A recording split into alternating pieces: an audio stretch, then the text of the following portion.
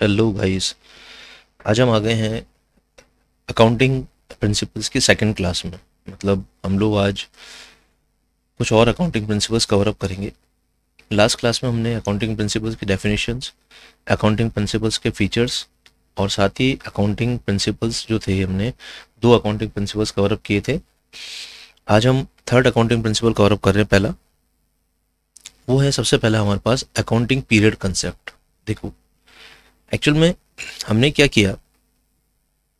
In the going concern concept हमने ये माना कि हमारे बिज़नेस की एज जो है, वो इनडेफिनेट है। ये फोर्सिबल फ्यूचर में हमारा बिज़नेस बंद करने का कोई विचार नहीं है। We are not means going to shut down the significant operation of the business we will do the business so हमने यहाँ से अकाउंटिंग को स्टार्ट किया और हम अकाउंटिंग मतलब हम बिज़नेस करे जा रहे हैं। यहाँ से बिज़नेस स्टार्टअप हुआ और हम बिज़नेस करे जा रहे हैं। बट इसका मतलब ये है कि हमें बिज़नेस का जो आउटकम है पता नहीं पड़ पा रहा है। बिकॉज़ हम तो सिर्फ़ बिज़नेस कर रहे हैं। तो हमने क्या किया? हमने एक कॉन्सेप्ट अडोप्ट किया, एक अजम्पन लिया, जिसका नाम है अकाउंटिंग पीरियड कॉन्सेप्ट या पीरियोडिसिटी कॉन्सेप्ट इस कॉन्सेप्ट में हमने क्या किया? जो अकाउंटिंग की इनडेफिनेट एज है, जो हमें दिख रहा है कि हमारा हमारा बिज़नेस चलता रहेगा, हमारे बिज़नेस की जो इनडेफिनेट एज है, वो बिज़नेस की इनडेफिनेट एज को हमने ब्रेकअप कर दिया। एजम्पन लेके हमने इसको ब्रेकअप कर दिया और हर एक ब्रेकअप को हमने क्या बोला? Accounting period this is what this is also accounting period this is what this is accounting period this is again accounting period तो हम क्या ब्रेकअप कर दिया हमने? जो बिज़नेस की इंडेफिनिट एज है, उसको ब्रेकअप कर दिया हमने। तो अल्टीमेट क्या हुआ इससे? इस अजम्पन को लेने से the going concern life of an enterprise is broken into smaller periods so that its performance can be measure at the regular interval हम ये ब्रेक हम पीसेस क्यों किया? ब्रेकअप क्यों किया? जिससे हम लोग एक रेगुलर इंटरवल पे हम परफॉर्मेंस पता लगा हमारे बिज़नेस का परफॉर्मेंस क्या है? हमारे बिज़नेस की पोजीशन में कितना चेंज आया? परफॉर्मेंस और पोजीशन जो है, वो हम पता लगा सके। तो इसलिए हमने क्या किया? हमने अकाउंटिंग पीरियड कॉन्सेप्ट को अडोप्ट किया। देखो, एक सिंपल सी एग्जांपल बताता हूँ आपको।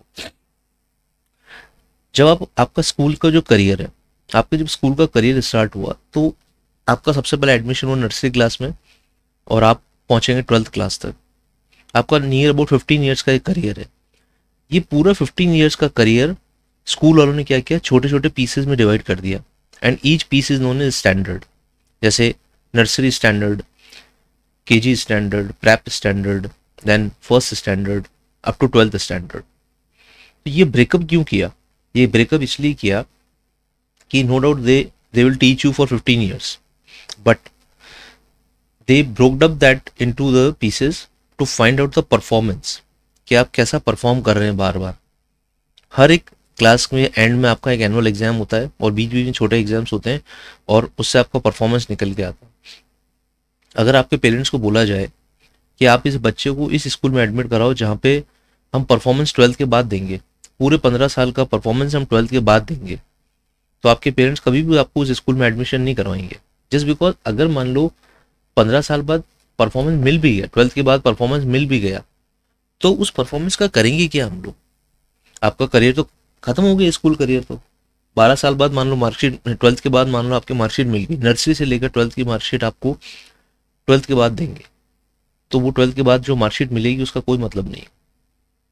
अगर आपको हर स्टैंडर्ड के बाद मार्कशीट दी जाएगी then that marksheet will be useful for you just because अगर कहीं पे इम्प्रूवमेंट का चांस लगे कि हाँ यार इस बच्चे को इम्प्रूवमेंट की ज़रूरत है, इसका परफॉर्मेंस अच्छा नहीं आ रहा है तो एटलीस्ट एक क्लास के बाद उसका इम्प्रूवमेंट बढ़ा सकते हैं हम लोग. एक क्लास में रिज़ल्ट पुअर आया नेक्स्ट में हम रिज़ल्ट बढ़ा सकते हैं. ऐसे बिज़नेस के साथ भी अगर हम छोटे छोटे पीरियड्स में बिज़नेस के एज को डिवाइड कर देंगे तो थोड़े थोड़े पीरियड बाद हमें बिज़नेस का परफॉर्मेंस पता लग जाएगा.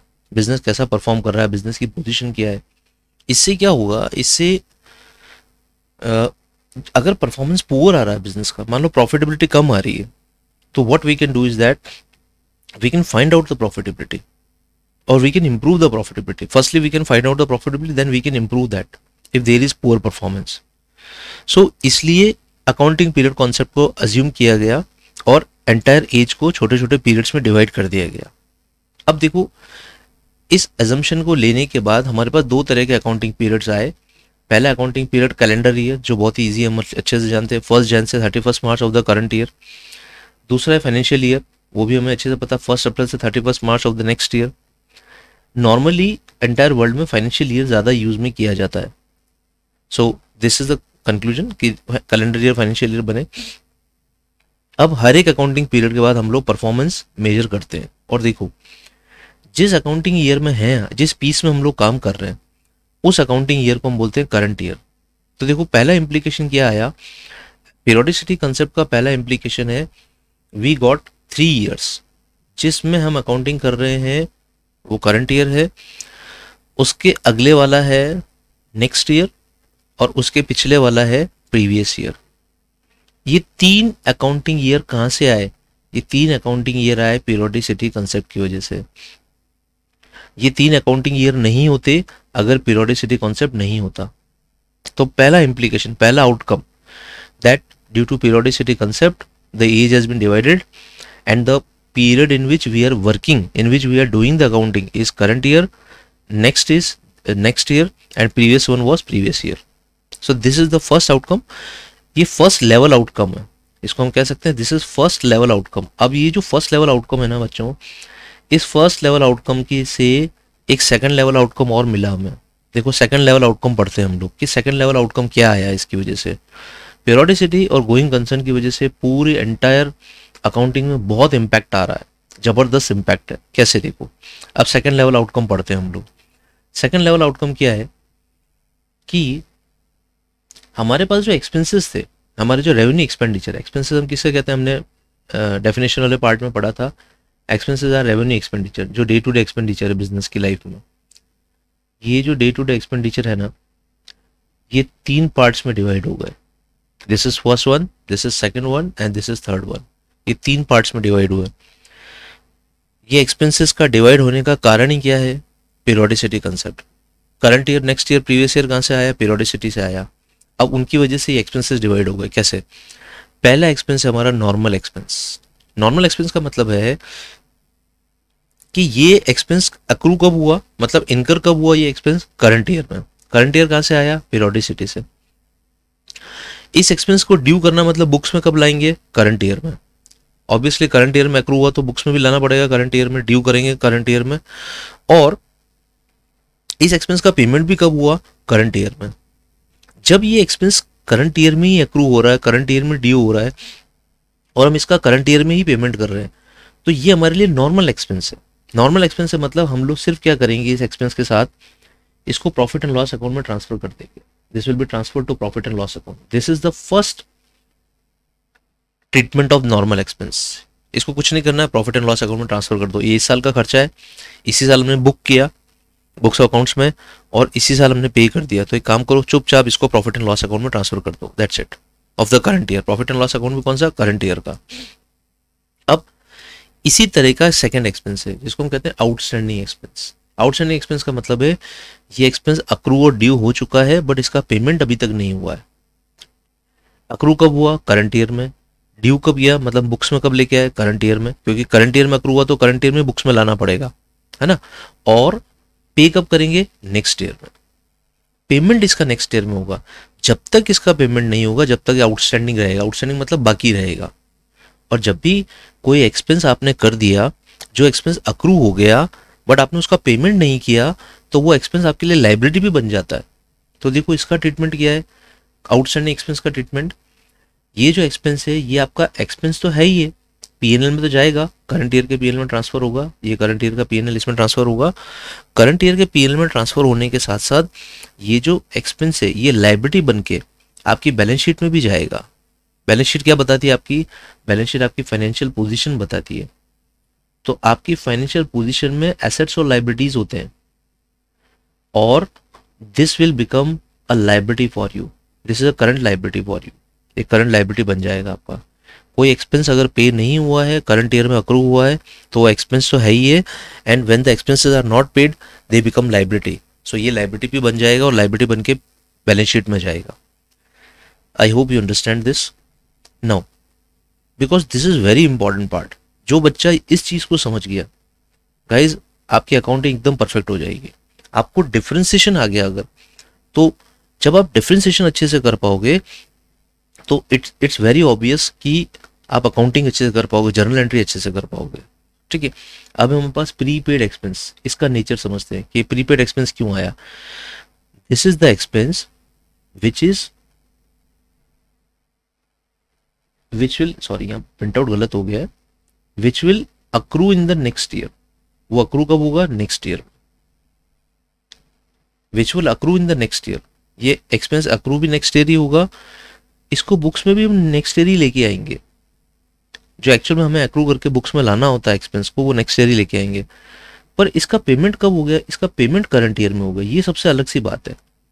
जैसे हम किसी पार्टी से माल खरीदते हैं गुड्स खरीदते हैं। So when we are purchasing the goods what we are doing sometimes we pay the advance payment कभी कभी हम उसको एडवांस दे देते हैं। वो कहता है, मैं आपको माल नहीं दूँगा, मैं माल बनाऊँगा ही नहीं आपके लिए। जब तक आप मुझे एडवांस पेमेंट नहीं दोगे, मेरी कंडीशन सही है और हमें माल बहुत अर्जेंट चाहिए। तो हमने क्या किया? हमने कहा, ठीक है भाई पेमेंट ले ले।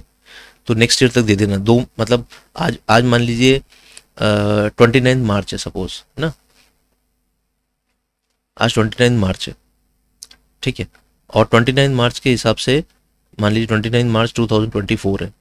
और हमारा फाइनेंशियल ईयर क्लोज कब हो रहा है? Thirty first March two thousand twenty four को हमारा फाइनेंशियल ईयर क्लोज हो रहा है। और वो पार्टी बोलती है कि मैं आपको पाँच अप्रैल तक माल बना के दूँगा। ठीक है? तो ये पाँच अप्रैल कब आ जाएगी? ये पाँच अप्रैल आ जाएगी नेक्स्ट ईयर हमें माल कब मिलेगा नेक्स्ट ईयर मतलब एक्सपेंस अक्रू कब होगा? एक्सपेंस अक्रू और ड्यू होगा नेक्स्ट ईयर बट हमने उसका पेमेंट ट्वेंटी नाइन मार्च को क्या दिया कर दिया। वो बोलता है कि भैया मैं आपको पै, मैं पैसे, पैसे दोगे तभी माल दूँगा मैं आपको बनाकर। तो हमने पेमेंट कब कर दिया? करंट ईयर में। और इसका माल कब मिलेगा हमें? एक्सपेंस अक्रू कब होगा नेक्स्ट ईयर में। तो ये जो हमने करंट ईयर में पेमेंट किया है, ये थर्टी फ़र्स्ट मार्च को बैलेंस शीट में प्री पेड एक्सपेंस के नाम से असेट बन जाएगा। ये प्री पेड एक्सपेंस है। इसका सिर्फ़ एक सिंगल ट्रीटमेंट है कि prepaid expense is an asset for us इसको हमने एसेट क्यों माना? क्योंकि एसेट की डेफिनेशन में फिक्स होता है। एसेट की डेफिनेशन बोलती है राइट right. कोई भी राइट right आपके पास होता है, वो असेट होता है। अब आपने देखो एडवांस पेमेंट कर दिया। आपको माल तो नहीं मिला ना अभी तक। माल तो नेक्स्ट ईयर मिलेगा। जब तक नेक्स्ट ईयर आपको माल नहीं मिलेगा, तब तक ये एडवांस पेमेंट आपके लिए राइट है। राइट का मतलब है आप उससे पैसे वापस ले सकते हो। आपको समझ में नहीं आप बोलोगे, भाई कॉन्ट्रैक्ट कैंसिल मुझे पैसे वापस दे दो। ठीक है? तो आपके पास एक राइट है। प्रीपेड एक्सपेंस में जब तक वो एक्सपेंस अक्रू नहीं होता है till that date you have a right आपके पास एक राइट है। तो ये जो राइट है ना, ये राइट प्रीपेड एक्सपेंस क्या कहलाए ये एडवांस पेमेंट या जो प्रीपेड एक्सपेंस है ये प्रीपेड एक्सपेंस आपके लिए क्या कहलाएगा? Asset is a current asset in the balance sheet so देखो, ये जो डिफरेंट डिफरेंट नेचर बने ना फाइनेंशियल नेचर कोई एक्सपेंस आपकी लाइब्रेटी बन गया, जैसे आउटस्टैंडिंग एक्सपेंस आपकी लाइब्रेटी है एडवांस पेमेंट जो प्रीपेड एक्सपेंस है, वो आपका एसेट है, ठीक है? ये ये कैसे बने? ये बने पिरोडिसिटी कंसेप्ट की वजह से। अगर पिरोडिसिटी कंसेप्ट नहीं होता तो ये भी नहीं होता सब कुछ। पहला कंक्लूजन अब हम बात करते हैं दूसरे कंक्लूजन की। देखो, दूसरा कंक्लूजन ये है, ये भी सेकंड लेवल कंक्लूजन है कि हमारे पास इनकम है। जिस तरह से एक्सपेंस का बाइफर्गेशन हुआ, उसी तरह से इनकम का भी बाइफर्गेशन हुआ। पहला बाइफर्गेशन क्या है? नॉर्मल इनकम नॉर्मल इनकम का मतलब है, जो इनकम अक्रू कब हुई? करंट ईयर में। ड्यू कब होगी? करंट ईयर में। और ये इनकम रिसीव कब होगी? करंट ईयर में मतलब रिसीव्ड रिसीव्ड मतलब हमें मिल चुकी है करंट ईयर में। हमने पैसा आ भी गया हमारे पास। तो सिंपल है। एक इनकम अक्रू हुई, वह ड्यू भी हो गई। ड्यू हो गई मतलब हम उसको बुक्स ऑफ़ अकाउंट्स में लेके आ गए और करंट ईयर में रिसीव भी हो गई। तो रिसीव हो गई, इसका मतलब ये क्या है? Transfer to P account PNL account में क्रेडिट हो जाएगी। मतलब ये हमारी इनकम इनकम बन के क्रेडिट हो जाएगी पीएनएल अकाउंट में। So this is the first implication about the income ठीक है? Now next is accrued income accrued income means income accrue कब हुई? करंट ईयर में। इनकम ड्यू भी कब करी हमें करंट ईयर में। ऑब्वियसली जिस ईयर में ड्यू होगी, उसी ईयर में बुक्स में जिस ईयर में अक्रू होगी, हम उसी ईयर में बुक्स में लेके आएँगे करंट ईयर में। और ये रिसीव कब होगी? नेक्स्ट ईयर में। जिस पार्टी से हमें पैसा लेना है, वो पार्टी बोली, अभी मेरे पास पैसे नहीं है, मैं आपको नेक्स्ट ईयर दूँगा पैसे। नेक्स्ट फाइनेंशियल ईयर में दूँगा। तो हो सकता है हमें पैसा नहीं मिला, पर इनकम तो अक्रू होगी ना। और साथ में पैसे के मिलने का राइट मिल गया हमें। जब भी आपके पास कोई राइट आता है, वो आपका राइट आपका एसेट होता है एसेट की डेफिनेशन के हिसाब से। तो देखो क्या हो रहा है। अक्रूड इनकम आपकी इनकम भी है और अक्रूड इनकम आपका एसेट भी है। ये पीएनएल अकाउंट में भी जाएगा it will be transfer to PNL account of the current year PNL में भी जाएगा करंट ईयर के और अक्रूड इनकम आपका एसेट भी है। तो ये एसेट भी हो गया आपका अक्रूड इनकम अब उसी तरह से है एडवांस इनकम देखो एडवांस इनकम का मतलब क्या है? अक्रू कब होगी? ये भी यहाँ पे प्रिंट आउट गलत है। नेक्स्ट ईयर अक्रूड होगी नेक्स्ट ईयर नेक्स्ट ईयर मतलब हम सर्विसेज़ नेक्स्ट ईयर देंगे। किसी पार्टी ने हमें एडवांस पेमेंट दे दिया। बोला, माल बना के दे देना हम उसको माल बना के देंगे नेक्स्ट ईयर में। इस ईयर पॉसिबल नहीं है। दो चार पाँच दस दिन बाद देंगे और पाँच दस बार नेक्स्ट ईयर लग जाएगा। तो नेक्स्ट ईयर में जब माल बना के देंगे तो ये ड्यू भी इनकम कब होगी? नेक्स्ट ईयर में ड्यू होगी। अक्रू भी नेक्स्ट ईयर में होगी ड्यू भी नेक्स्ट ईयर में होगी। बट इसका पेमेंट कब रिसीव हो गया? करंट ईयर में। तो ये जो पेमेंट आपको मिला है, ये आपकी इनकम नहीं मान सकते आप। जब तक आप माल बना के नहीं दोगे, जब तक आप सर्विसेज़ रेंडर नहीं करोगे, देखो मैं कोचिंग पढ़ाता हूँ। तो कोचिंग पे बच्चे हमें एडवांस पेमेंट देते हैं। वो एडवांस पेमेंट हमारी इनकम नहीं है। जस्ट बिकॉज़ जब तक हम बच्चों को कोर्स नहीं करा देते पूरा, तब तक वो इनकम अक्रू नहीं हो रही है। तो ये इनकम अक्रू कब होगी? नेक्स्ट ईयर में। और ड्यू कब होगी? नेक्स्ट ईयर में। बट ये इनकम रिसीव कब हो रही है करंट ईयर में? अब जो इनकम रिसीव हुई है, वो इनकम नहीं है आपकी, वो आपकी लाइबिलिटी है क्योंकि सामने वाला पैसे वापस मांग सकता है आपसे। बोलेगा मुझे पैसे लौटा दो, मेरे को आपसे माल नहीं लेना। तो you have to return it back so that income is treated as a liability and that is an advance income इसको हम एडवांस इनकम बोलते हैं लाइबिलिटी है, ये पी एन एल अकाउंट में नहीं जाएगा। करंट ईयर के पी एन एल अकाउंट में नहीं जाएगा, क्योंकि करंट ईयर में अक्रू नहीं हुआ। ये जाएगा नेक्स्ट ईयर के पी एन एल अकाउंट में। So this is the basic difference between income मतलब यहाँ पे इनकम का बाइफिकेशन तीन में हो जाता है। Normal income accrued income and advance income देखो, मैं आपको एक स्टूडेंट से एक बहुत इंपॉर्टेंट चीज़ बताता हूँ। हमारी जो एंटायर अकाउंटिंग है, ये बहुत इंपॉर्टेंट चीज़ है, जो नॉर्मली हर टीचर आपको डिस्क्लोज नहीं करता है इसी वे में। देखो, हमारी एंटायर अकाउंटिंग चलती है एडीएस पे। ये तीन ऐसे अल्फ़ाबेट्स हैं जिसमें हमारी अकाउंटिंग चलती है। देखो एडीएस का मतलब क्या होता है? एडीएस का मतलब होता है ए का मतलब होता है अक्रू ठीक है? डी का मतलब होता है ड्यू एंड एस का मतलब होता है सेटलमेंट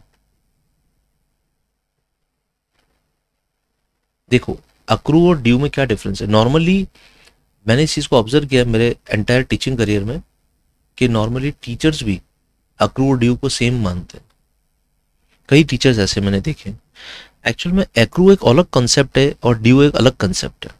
देखो एक्रू का मतलब होता है ट्रांजेक्शन का इनकर होना। If the transaction is incurred it means it is accrue suppose मान लीजिए we are providing bakery services हम बेकरी सर्विसेज़ प्रोवाइड कर केक बना के देते हैं। अगर हमने केक बना के दे दिया पार्टी को तो हमारी इनकम अक्रू हो गई है। ठीक है? हम कहीं पे गए, मान लीजिए हम चाय पीने गए बाहर कहीं, हमने चाय पिया, हमने चाय पी ली, हमारे लिए एक्सपेंस अक्रू हो गया और सामने वाले के लिए इनकम अक्रू हो गई, क्योंकि उसने अपनी सर्विसेज़ दे दी और हमने उसकी सर्विसेज़ को यूज़ में ले लिया। तो अक्रू का बेसिक मीनिंग है ट्रांजेक्शन का इनकर होना। और एक वर्ड होता है ड्यू ड्यू का मतलब है उसको बुक्स ऑफ़ अकाउंट्स में लेके आना, ठीक है? To record in the books of accounts किसी भी ट्रांजेक्शन को बुक्स ऑफ़ अकाउंट में लेके आना, उसको हम कहते हैं ड्यू ठीक है? और ये इंपॉर्टेंट फैक्ट है कि अगर कोई ट्रांजेक्शन करंट ईयर में अक्रू हो रहा है, ठीक है तो उसको करंट ईयर में ही उसको बुक्स में लेके आना है आपको। क्योंकि हम अकाउंटिंग क्रोनोलॉजिकल ऑर्डर में करते हैं। हमने जर्नल चैप्टर में पढ़ा था। जर्नल के बारे में पढ़ा था हमने कुछ डेफिनेशंस जर्नल में जब हम एंट्रीज करते हैं तो हम क्रोनोलॉजिकल ऑर्डर में करते हैं। क्रोनोलॉजिकल मतलब date wise time wise date wise हम एंट्रीज करते हैं।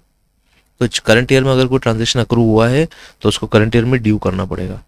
अब हम आते हैं बात सेटलमेंट पे। अगर कोई भी ट्रांजेक्शन सेटल होता है तो वो एक अलग ट्रांजेक्शन है। अगर इमीडिएट सेटलमेंट हो जाता है, ठीक है? अगर इमीडिएट सेटलमेंट होता है तो कैश ट्रांजेक्शन है। और सेटलमेंट डेफर्ड होता है। डेफर्ड मतलब बाद में सेटलमेंट होगा। पैसा बाद में आएगा या हम पैसा बाद में पे करेंगे, ठीक है? दोनों में से कुछ भी। बाद में आएगा पैसा या बाद में पे करेंगे। तो वो डेफर्ड सेटलमेंट है। डेफर्ड सेटलमेंट मतलब वो ट्रांजेक्शन क्या कहते हैं? क्रेडिट ट्रांजेक्शन तो एक्रूड ड्यू और सेटलमेंट ये तीन अलग अलग वर्ड्स हैं जिसके ऊपर पूरी अकाउंटिंग चलती है। सेटलमेंट एक अलग ही चीज़ है। सेटलमेंट का मतलब है पैसा आना या पैसा पे करना, जो भी आप समझे। बट अक्रूड ड्यू बहुत इंपॉर्टेंट नो तो हमने यहाँ पे पढ़ा कि हमारे एक्सपेंसेस का बाइफिकेशन तीन में हुआ और हमारे इनकम का बाइफिकेशन तीन पार्ट में हुआ। ये हमारा सेकंड लेवल इम्प्लीकेशन है। सेकंड लेवल आउटकम है। किस, कौन से कंसेप्ट का? पीरियोडिसिटी कंसेप्ट का। जो हमारा पीरियोडिसिटी कंसेप्ट है, उसका सेकेंड लेवल आउटकम हो गया। अब हम आ जाते हैं नेक्स्ट कंसेप्ट पे। That is money measurement concept ठीक है? It's it's a easy kind of concept but there are two things that we have to understand money measurement concept money measurement concept क्या कहता है? मनी मेज़रमेंट कॉन्सेप्ट कहता है कि जब भी आप कोई ट्रांजैक्शन बुक्स ऑफ़ अकाउंट्स में लेके आ रहे हो तो पहले उसको मेजर करो मनी के टर्म्स में। सपोज़ मान लीजिए, आपका रिटेल स्टोर है, ठीक है? अब ये जो रिटेल स्टोर है, आपने इसमें बहुत सारा माल बेचते हो आप। बहुत तरह का माल बेचते हो, बहुत तरह के गुड्स बेचते हो आप। कुछ ऐसे गुड्स हो सकते हैं जो लीटर के टर्म्स में हो मे बी कुछ ऐसे गुड्स हो सकते हैं जो किलोग्राम के टर्म्स में हो मे बी और कुछ ऐसे गुड्स हों जो यूनिट्स के टर्म्स में हो यूनिट्स ठीक है? देखो, सबकी यूनिट अलग अलग है। Litre kilogram units one unit two unit like that retail store वाला बहुत सारा माल बेचता है, उन सबकी यूनिट अलग अलग होती है। बट उन सबका जो मेज़रमेंट होता है, उन सबके लिए कॉमन डिनोमिनेटर मेज़रमेंट का कॉमन डिनोमिनेटर कौन सा है? मेज़रमेंट का कॉमन डिनोमिनेटर है money money is a common denominator for all the transaction तो इसलिए जब भी कोई ट्रांजेक्शन और इवेंट होता है ना तब सबसे पहले उसको मनी के टर्म्स में मेजर करो। अगर वो मनी के टर्म्स में मेजरेबल नहीं है तो इसका मतलब आपको उसको बुक्स अकाउंट्स में लेके नहीं आना है। दैट्स इट नो अब इस मनी मेज़रमेंट देखो मनी मेज़रमेंट हमारी मजबूरी भी है, क्योंकि हम अकाउंटिंग अलग अलग यूनिट्स में नहीं कर सकते कि किलोग्राम में भी कर रहे हैं लीटर्स में भी कर रहे हैं। नो नॉट पॉसिबल एक कॉमन डिनोमीटर तो चाहिए हमें। वो मनी हमने माना। हमारा जो कॉमन यार्ड स्टिक है that common measurable yardstick is money इसका एक लिमिटेशन भी है। पहला इसका लिमिटेशन क्या है? देखो मटेरियल और important transaction can not be measured कभी कभी हमारे बिज़नेस में ऐसा होता है, कुछ इंपॉर्टेंट ट्रांजेक्शन होते हैं। वो इंपॉर्टेंट ट्रांजेक्शन इतने सिग्निफिकेंट होते हैं जो हमारे बिज़नेस को बहुत इम्पैक्ट करते हैं। जैसे मान लीजिए हमारे कोई एम्प्लॉय काम करता है, उस एम्प्लॉय की लॉयल्टी वो बहुत ईमानदारी से काम करता है। हमारे लिए बहुत सिग्निफिकेंट है वो। वो एम्प्लॉय हमारा एसेट है। बट वो मनी की टर्म से मेजरेबल नहीं। इसलिए हम उसको असेट मान के बुक्स ऑफ़ अकाउंट्स में नहीं ला सकते हम लोग। हम किसी भी चीज़ को असेट को बुक्स ऑफ़ अकाउंट में कब लाएँगे? जब मनी के टर्म में मेजरेबल हो। हम जानते हैं हमारा एम्प्लॉय हमारा असेट है जस्ट बिकॉज़ उसकी वजह से हमें कमाई होती है बहुत ज़्यादा। बट हम उसको बुक्स अकाउंट्स में नहीं ला सकते। उसकी लॉयल्टी को बुक्स अकाउंट्स में नहीं ला सकते। Just because it can not be measured in terms of money no तो ये फ़र्स्ट लिमिटेशन हो गया कि कुछ सिग्निफिकेंट ट्रांजेक्शन हम उसको बुक्स और अकाउंट्स में नहीं ला सकते। अब हमारे पास सेकंड सिग्निफिकेंट सेकंड क्या है limitation value of money is considered to be static देखो, हम मनी की वैल्यू के बारे में समझते हैं। मनी की जो वैल्यू है ना, वो डायनेमिक है। से दिस मनी की जो वैल्यू वो डायनेमिक है। डायनेमिक का मतलब है मनी की वैल्यू हमेशा चेंज होती रहती है। ठीक है? तो मनी की वैल्यू जब डायनेमिक है चेंज होती रहती है तो फिर आप अकाउंटिंग कैसे कर पाओगे? तो उसके लिए हमने क्या, रास्ता निकाला, हमने इस ड्रॉबैक को पूरा किया। हम सबसे पहले बोल रहे हैं मनी की वैल्यू डायनेमिक है। डायनेमिक मतलब मनी की वैल्यू रोज चेंज होती है। कैसे चेंज होती है? देखो इन्फ्लेशन की वजह से, महँगाई की वजह से। कैसे? पहले ब्रेड का पैकेट आता था, मान लीजिए रुपीज़ फोर्टी का, और हमें ब्रेड मिलता था, मान लीजिए टू हंड्रेड ग्राम्स मान लीजिए। ठीक है? आज वही ब्रेड का पैकेट आता है रुपीज़ फिफ्टी का, और ब्रेड उतना का उतना है टू हंड्रेड ग्राम्स तो देखो ब्रेड की क्वांटिटी में कोई चेंज नहीं आया. बट जो मनी है मनी वैल्यू में चेंज आया. पहले हमें चालीस रुपये देने पड़ते थे, अब हमें पचास रुपये देने पड़ते हैं. हमारी जेब में से पैसा ज़्यादा जा रहा है. तो इसका मतलब there is a devaluation in the value of money money की वैल्यू में डी वैल्यूएशन हो रहा है. मनी की वैल्यू कम हो रही है. इसका मतलब क्या हो रहा है, जब प्रैक्टिकल लाइफ में हम देखें तो प्रैक्टिकल लाइफ में मनी की वैल्यू डायनेमिक है। मनी की वैल्यू रोज़ाना बदलती है, रोज़ाना चेंज होती है। बट अब हमारे साथ प्रॉब्लम है कि मनी हमारा कॉमन डिनोमिनेटर है, हम ट्रांजेक्शन को कैसे रिकॉर्ड करेंगे? तो हमने क्या किया, इस डायनेमिक नेचर को इग्नोर किया, और हमने मनी की वैल्यू को क्या माना? स्टैटिक स्टैटिक मतलब चेंज नहीं होती it is fixed it is static in nature तो मनी की वैल्यू को हमने स्टैटिक मान लिया। अब स्टैटिक मानने की वजह से क्या हो रहा है? स्टैटिक मानने की वजह से ये हो रहा है कि हम किसी भी ट्रांजैक्शन को हिस्टोरिकल कॉस्ट पर रिकॉर्ड कर रहे हैं। ये भी समझते हैं कि हिस्टोरिकल कॉस्ट पे क्या हो रहा है। देखो, किसी भी ट्रांजेक्शन हिस्टोरिकल कॉस्ट पर रिकॉर्ड कर रहे हैं मतलब जैसे मान लीजिए हमने कोई मशीन खरीदी। हमने मशीन खरीदी दो लाख में। हम उस मशीन को दो लाख में ही रिकॉर्ड कर ले रहे हैं। हम दो लाख में रिकॉर्ड कर रहे हैं। क्यों दो लाख में रिकॉर्ड कर रहे हैं?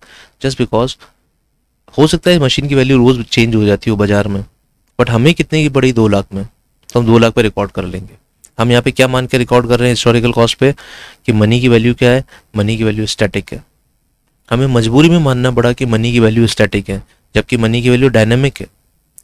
So this is the drawback और you can say this is the limitation of the money measurement concept ये लिमिटेशन है हमारे सामने मनी मेज़रमेंट कॉन्सेप्ट का। I hope you understand very well no अब हम आगे बढ़ते हैं। After completing money measurement concept, it's a very small concept. Money measurement is not a big concept. It is not having so much of outcomes. अब हमारे पास second इसके बाद next concept है, वो है एक्रोल अजम्पशन ये एक फंडामेंटल अजम्पशन है। देखो, तीन फंडामेंटल अजम्पशन है। पहला फंडामेंटल अजम्पशन गोइंग कंसर्न जो हमने पढ़ा। So first fundamental assumption is going concern second is accrual and third is जो आगे पढ़ेंगे हम दैट इज़ कंसिस्टेंसी कंसिस्टेंसी भी एक हमारे पास एक फंडामेंटल अजम्पशन ये तीन फंडामेंटल अजम्पशन सो अब देखो फंडामेंटल अजम्पशंस में एक्रोल अजम्पशन क्या कहता है? A transaction is recorded in the books of accounts at the time when it is entered into and settled and not when the settlement takes place accrual assumption कहता है settlement का इंतज़ार मत करो। कोई अगर ट्रांजेक्शन हुआ है क्रेडिट पे भी हुआ है तो उसे रिकॉर्ड करो। कैसे? हमने रमेश को गुड्स सेल किए, ठीक है? रमेश हमारी पार्टी है, हमने उसको goods sold to Ramesh on credit goods sold to Ramesh on credit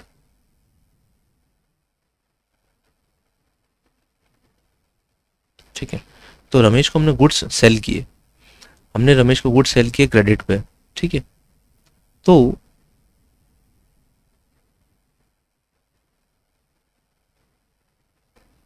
on credit rupees twenty thousand अब देखना ये कि क्या हमने रमेश को गुड्स भेज दिए? यस हमने रमेश को रमेश को गुड्स भेज भी दिए। मतलब हमने हमारी सर्विस रेंडर कर दी या हमने गुड्स सेल कर दिए? यस हमने हमारी तरफ़ से सेल कर दिए गुड्स और वो गुड्स रमेश के पास पहुँच चुके हैं। इसका मतलब सेल ट्रांजेक्शन अक्रू हो चुका है।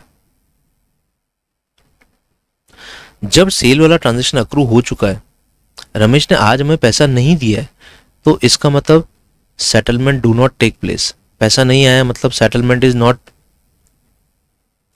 not there means हुआ नहीं है सेटलमेंट भले ही सेटलमेंट नहीं हुआ एक्रोल कंसेप्ट कहता है सेटलमेंट की चिंता मत करो। पैसा तुम्हारे पास बाद में आ जाएगा। आज अगर हमने, तुमने ट्रांजेक्शन अक्रू कर लिया है तो उस सेल वाले ट्रांजेक्शन को बुक्स में लेके आओ। बुक्स में लेके आओ मतलब ड्यू करो। जैसे ट्रांजेक्शन अक्रू हो गया है, उसे बुक करो। सेटलमेंट का इंतज़ार मत करो। सेटलमेंट की चिंता मत करो। सेटलमेंट हो जाएगा बाद में। बिज़नेस में रोज़ाना ऐसा होता है। अगर आपने ट्रांजेक्शन को बुक्स में लेके नहीं आए तो गड़बड़ हो जाएगा। तो बिगेस्ट मिस्टेक होगी। बिगेस्ट मिस्टेक क्या होगी? ऐसे बहुत सारे ट्रांजेक्शन होते हैं, जो क्रेडिट पे होते हैं, जिनका सेटलमेंट नहीं होता। अगर आप उनको बुक्स में नहीं लेके आओगे तो पहला तो ट्रांजेक्शन अगर आपने बुक्स में नहीं लाया तो आपकी मेमोरी में से मिसप्लेस हो जाएगा। हो सकता है आप रमेश वाला ट्रांजेक्शन रिकॉर्ड ना करो और बाद में रमेश से पैसे लेना भूल जाओ आप। इट मे बी पॉसिबल कि आप पैसे नहीं ले पाओ। भूल गए आप। दूसरा, आपकी सेल पे इम्पैक्ट होगा। आपकी सेल कम आएगी। Sale will get impact sale कम आएगी। तीसरा, आपका जो स्टॉक था, जो आपका स्टॉक गोडाउन में पड़ा है, वो रिड्यूस हो चुका है। आपने रमेश को माल बेचा, बीस हज़ार का स्टॉक रिड्यूस हो गया। अब स्टॉक तो रिड्यूस हो गया बट आपने जर्नल एंट्री करी नहीं, आपने उसको बुक नहीं किया। तो आप बाद में सोचोगे स्टॉक रिड्यूस कैसे हो गया? स्टॉक तो है, गोडाउन होना चाहिए बट स्टॉक रिड्यूस हो चुका है। अब इसका इसका इम्पैक्ट क्या होगा? आप ये सोचोगे स्टॉक चोरी हो गया बट जबकि स्टॉक चोरी नहीं हुआ, आपने रिकॉर्डिंग नहीं करी ट्रांजेक्शन की। सो एक्रोल कंसेप्ट कहता है कि ट्रांजेक्शन को तुरंत रिकॉर्ड करो। If you are not going to record the transaction it may be possible that you forgot the record the transaction और ऐसे आपकी अकाउंटिंग की पोजिशन अकाउंटिंग की परफॉर्मेंस या मतलब आपके बिज़नेस की पोजीशन बिज़नेस की परफॉर्मेंस हिल हिल जाए। So this was the accrual concept अब एक्रोल कॉन्सेप्ट के से हमारे पास कुछ अजम्पन्स कुछ कंक्लूजन निकल कर आते हैं, जो हमने अभी एक्सपेंसेस के केस में पढ़े और इनकम के केस में पढ़े। देखो, अगर हम बात करें एक्सपेंसेस और इनकम की एक्रोल कंसेप्ट नहीं होता तो ये करंट ईयर में एक एक्सपेंस है नॉर्मल एक्सपेंस जो करंट ईयर में बुक हो अगर एक्रूल कंसेप्ट नहीं होता तो हम इसे बुक नहीं करते करंट ईयर में। एक्रूल कंसेप्ट की वजह से हमने इसको करंट ईयर में बुक कर लिया। करंट ईयर में जैसे एक्रू हुआ हमने बुक कर लिया। आउटस्टैंडिंग एक्सपेंस के साथ भी ऐसा ही। आउटस्टैंडिंग एक्सपेंस में हमने इंतज़ार नहीं किया। हमारा आउटस्टैंडिंग एक्सपेंस का सेटलमेंट कब होगा? पेमेंट कब होगा? नेक्स्ट ईयर हम पे करेंगे next year but settlement next year होगा तो इसका मतलब ये नहीं कि आप बुक नहीं करें। ये एग्रो कब हुआ? करंट ईयर में। तो आपको बुक भी कब करना है? करंट ईयर में। एक्रोल कंसेप्ट ये कहता है। तो आपने बुक कर लिया, इसलिए आउटस्टैंडिंग एक्सपेंस बना है। अगर आप बुक नहीं करते तो आउटस्टैंडिंग एक्सपेंस ही नहीं बन पाता। इसी तरह से प्रीपेड एक्सपेंस अक्रू कब होगा नेक्स्ट ईयर में? ड्यू कब होगा नेक्स्ट ईयर में? तो आपने इसको बुक नहीं किया अभी एक्सपेंस मान के। आपने इसको एसेट मान के बुक किया करंट ईयर में सिर्फ़। आपने एक एसेट की वैल्यू बुक करी, आपने इनकम सॉरी आपने एक्सपेंस बुक नहीं किया। आप इसको नेक्स्ट ईयर में बुक करोगे, क्योंकि ये अक्रू भी कब होगा नेक्स्ट ईयर में? इसी तरह से इनकम में भी बाइफर्गेशन आया। जो नॉर्मल इनकम आपकी इस साल बनी ये नॉर्मल इनकम है। अक्रू कब हुई? करंट ईयर में। तो आपने बुक भी कब कर लिया? Current year that's what is a normal income accrued income current year में अक्रू हुई। और आपने बुक भी कब करा? करंट ईयर में। आपको रिसीव कब होगी? नेक्स्ट ईयर में। अब मान लो आप इसको बुक नहीं करते, मान लीजिए आप। You are not booking it आप अक्रूल कंसेप्ट फॉलो नहीं कर रहे। ठीक है, आप कैश कंसेप्ट फॉलो कर रहे। हैं अक्रूल कंसेप्ट फॉलो नहीं किया तो हो सकता है कि ये नेक्स्ट ईयर जिससे आप पैसा मांगते हो, वो पैसा आपको ना दे व्यक्ति। अगर उस व्यक्ति ने पैसा नहीं दिया आपको तो हो सकता है कि आप इनकम मिस कर जाओ। आपका पैसा मिस हो जाए इनकम मिस कर जाओ बुक करना। अगर बुक होगी, पहले से आपने अक्रू कर रखी है बुक कर रखी है बुक्स में, ठीक है? तो आपको पता रहेगा कि मेरी इनकम अक्रू हो गई थी प्रीवियस ईयर में, जिसका भी मुझे पैसा लेना है। तो नेक्स्ट ईयर में आप उसको फ़ोन करके बोल सकते हो कि भैया मेरा पैसा बाकी है, पैसा लाओ। अगर आपने बुक ही नहीं करा और आप भूल गए तो क्या होगा? आपकी इनकम चली जाएगी, आपको नुकसान हो जाएगा। So this is the value of the accrual concept accrual concept की वजह से बहुत सारे अलग अलग कॉन्सेप्ट निकल कर आते हैं। जैसे अक्रूड इनकम का कॉन्सेप्ट आउटस्टैंडिंग एक्सपेंस का कॉन्सेप्ट ये एक्रोल कॉन्सेप्ट की वजह से निकल के आया। एक्रोल नहीं होता तो आप बुक ही नहीं करते। और बुक नहीं करते तो अकाउंटिंग परफॉर्मेंस आपका जो बिज़नेस का परफॉर्मेंस है और बिज़नेस की जो पोजीशन है, वो चेंज नहीं होती। वो वैसी ही वैसी रहती। So I hope you understand the accrual concept अब बच्चों, कुछ और छोटे छोटे कॉन्सेप्ट हैं। अभी जो हम नेक्स्ट क्लास में कैरी ऑन करेंगे. Till then thank you